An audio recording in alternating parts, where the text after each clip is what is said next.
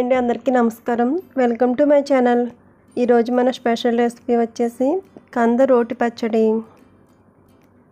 ఈ కంద రోటి పచ్చడి ఇలా చేసుకున్నట్టయితే చాలా అంటే చాలా రుచిగా ఉంటుంది. వేడివేడి అన్నంలో నెయ్యి వేసుకుని ఈ కంద పచ్చడి వేసుకుని తింటే చాలా బాగుంటుంది. పచ్చడి చేసుకోవడానికి ముందుగా ఇక్కడ చిన్న సైజులో ఉండే కంద ముక్క తీసుకుని పైన తొక్క చెక్క తీసుకుని పెట్టుకున్నాను. ఇప్పుడు ఈ కంద ముక్కను చిన్న ముక్కలుగా కట్ చేసుకోవాలి. ఈ విధంగా కట్ చేసుకున్న కంద ముక్కలను ఇప్పుడు వాటర్లో వేసి ఉడికించుకోవాలి. స్టవ్ మీద పాన్ పెట్టుకుని అందులో ఒక గ్లాస్ వాటర్ పోసుకున్న తర్వాత ఇప్పుడు కట్ చేసి పెట్టుకున్న కంద ముక్కలు వేసుకుని ఉడికించుకోవాలి. కంద ముక్కలు ఇలా ఉడుకుతున్నప్పుడు ఇప్పుడు ఇందులో రెండు జామాకులు కూడా వేసుకోవాలి. జామాకులు వేసుకుని కంద ముక్కలు మెత్తగా ఉడికే వరకు ఈ విధంగా ఉడికించుకుని ఇప్పుడు స్టవ్ ఆఫ్ చేసుకుని ఒక గిన్నెలోకి తీసుకోవాలి.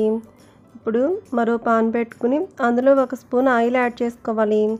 ఆయిల్ హీట్ ఎక్కిన తర్వాత ఇప్పుడు ఇందులో రెండు స్పూన్లు పచ్చిశనగపప్పు రెండు స్పూన్లు మినపప్పు కొద్దిగా ఆవాలు జీలకర్ర అలాగే చిటికెడు మెంతులు వేసుకోవాలి.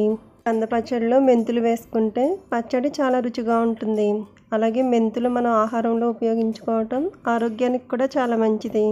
ఇవి వేసుకున్న తర్వాత చీల్చి పెట్టుకున్న పచ్చిమిరపకాయలు కూడా వేసుకోవాలి. మనం తినే స్పైసీని బట్టి పచ్చిమిరపకాయలు యాడ్ చేసుకోవాలి. ఇప్పుడు ఇందులో రెండు స్పూన్ల ధనియాలు అలాగే ఒక స్పూన్ పెసరపప్పు కూడా వేసుకోవాలి. అలాగే పొట్టుతో సహా కొన్ని వెల్లుల్లి రెబ్బలు వేసుకుని ఇవన్నీ కూడా బాగా వేగే వరకు ఈ విధంగా కదుపుకుంటూ వేగించుకోవాలి. ఇవి అన్నీ కూడా గోల్డ్ కలర్లోకి వచ్చే వరకు వేగించుకోవాలి. ఇలా వేగిన తర్వాత ఇప్పుడు వీటిని ఒక బౌల్లోకి తీసుకుందాం.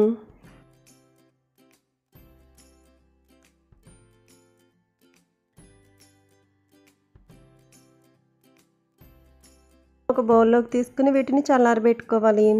ఇప్పుడు ఇదే ఆయిల్లో ముందుగా ఉడికించి పెట్టుకున్న కంద ముక్కలు వేసుకుని వేగించుకోవాలి.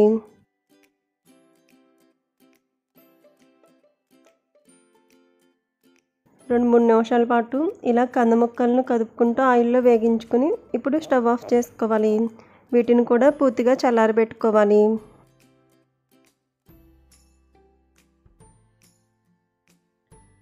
ఇవి పూర్తిగా చల్లారిన తర్వాత ఇప్పుడు ఈ కంద పచ్చడిని రోట్లో చేసుకుందాం. మిక్సీలో చేసుకునే కంద పచ్చడి కంటే రోట్లో చేసుకునే కంద పచ్చడి మరింత టేస్ట్గా ఉంటుంది. ఇప్పుడు రోలును శుభ్రంగా కడిగిన తర్వాత ముందుగా వేగించి పెట్టుకున్న పచ్చిమిరపకాయలు వేసుకోవాలి. ఇప్పుడు ఈ విధంగా బండతో దంచుకోవాలి.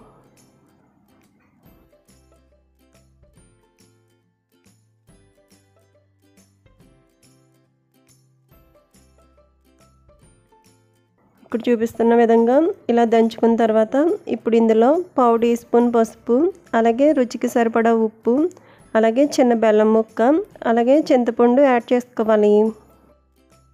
మళ్ళీ ఒకసారి బండతో దంచుకోవాలి. ఇలా దంచుకున్న తర్వాత ఇప్పుడు ముందుగా మనం వేగించి పెట్టుకున్న కంద ముక్కలను కూడా ఇందులో వేసుకోవాలి.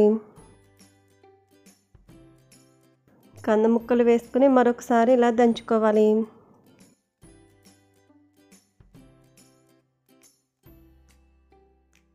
కందపచ్చడి ఈ విధంగా నలిగిన తర్వాత ఇప్పుడు ఒక బౌల్లోకి తీసుకుందాం. మరీ మెత్తగా కాకుండా కొంచెం బరకగా ఉండేటట్టే దంచుకోవాలి. ఈ విధంగా దంచుకున్న తర్వాత ఇప్పుడు ఒక బౌల్లోకి తీసుకుందాం. ఇలా చేసుకుని ఈ కంద పచ్చడిని వేడివేడి అన్నంలో నెయ్యి వేసుకుని ఈ కంద పచ్చడి వేసుకుని తింటే చాలా చాలా రుచిగా ఉంటుంది. ఇది చాలా చాలా పాతకాలం నాటి రెసిపీ. అలాగే ఇలా చేసుకుని కంద పచ్చడి తినటం ఆరోగ్యానికి కూడా చాలా చాలా మంచిది.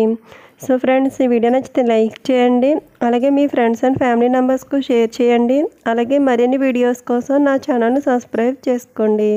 Thank you for watching video friends.